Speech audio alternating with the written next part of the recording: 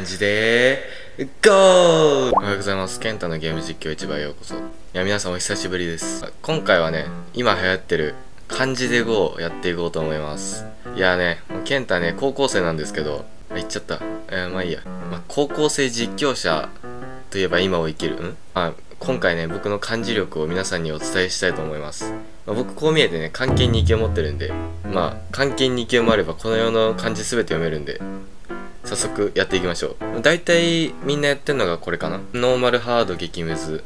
まあノーマルは全然いけそうだけど結構重いなこのゲーム。ハードもまあちょっとむずそうだねこれ。一番上とか読めないわ。まずノーマルからやっていこうか。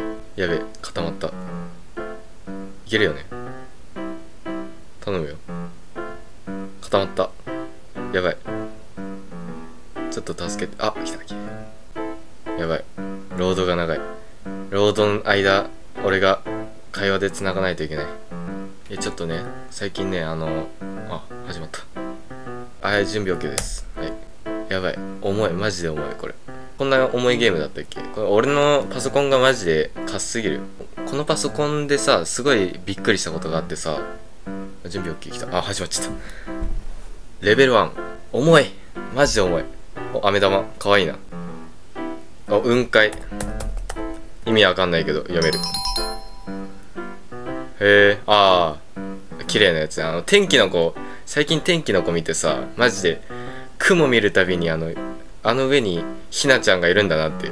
マジでそうパソコンゲームを実況するのが初めてなんで今までスマホゲームしかやってこなかったんでちょグダグダかもしれないんですけどちょっと許していただけると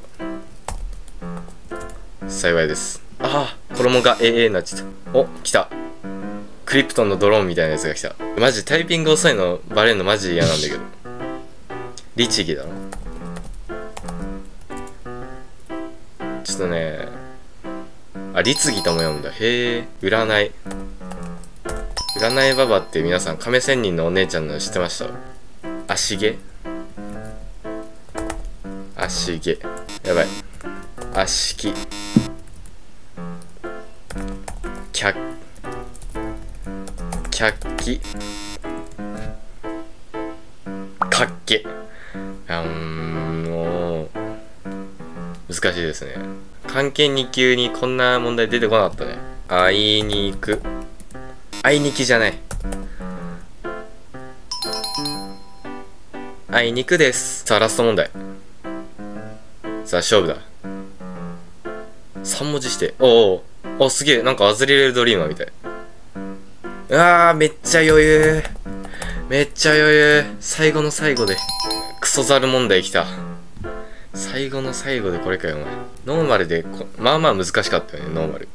かっけとかも聞いたことなかったもんね。名前だけはかっけーってか。